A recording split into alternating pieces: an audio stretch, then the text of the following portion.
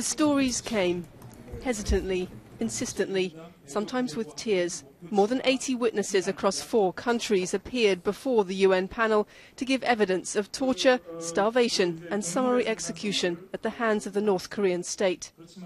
During the early hearings in Seoul, the chief investigator described his feelings to the BBC.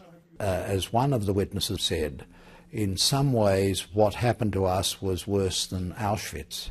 It was as if they were preparing for our inevitable death uh, in the camp. And uh, we learned from the Second World War that there must be no more Auschwitzes, there must be no more uh, places of that kind.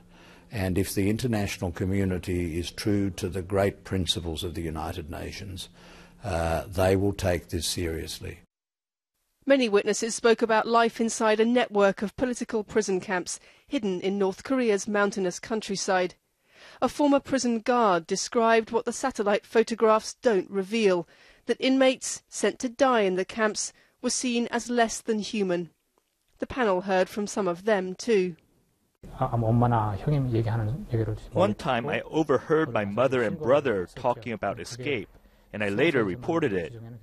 I called them as mother and brother, but I didn't have any special feelings of kinship or the concept of family.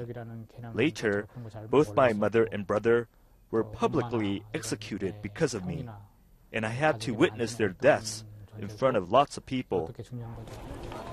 North Korea denies allegations of abuse and the existence of political prison camps, but it did not allow the team into the country to verify them.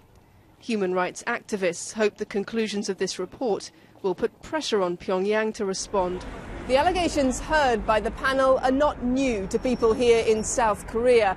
What is new is the involvement of the UN in investigating them and the possibility that it could lead to international indictments. Lucy Williamson, BBC News, Seoul.